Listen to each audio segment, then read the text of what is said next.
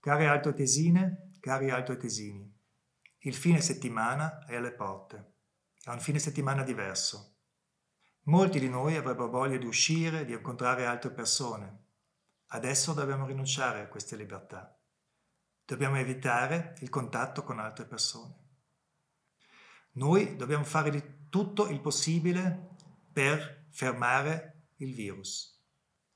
E questo vuol dire che dobbiamo rinunciare anche di andare sui prati della Talvera a fare ciò che di solito si fa il fine settimana.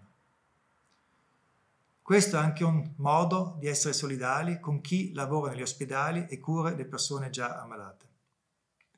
Io sono fiducioso che noi siamo una comunità forte dove ciascuno di noi si assume una responsabilità che ha anche nei confronti degli altri.